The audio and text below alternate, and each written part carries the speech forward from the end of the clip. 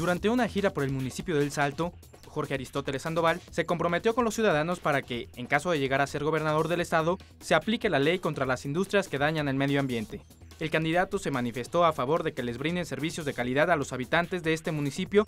Llamó la atención que el evento tuvo que ser cambiado de sede debido a que vecinos de tres colonias de la delegación de El Verde reclamaron el abasto de agua. Ante este hecho, el municipio descalificó la protesta diciendo que los manifestantes no tenían demandas legítimas. En enero nos hizo un bloqueo aquí en El Verde, el 23 eh, quejándose de la falta de servicios, que quiera, pero más que todo llevando o queriendo ser un protagonista de, de todo este asunto.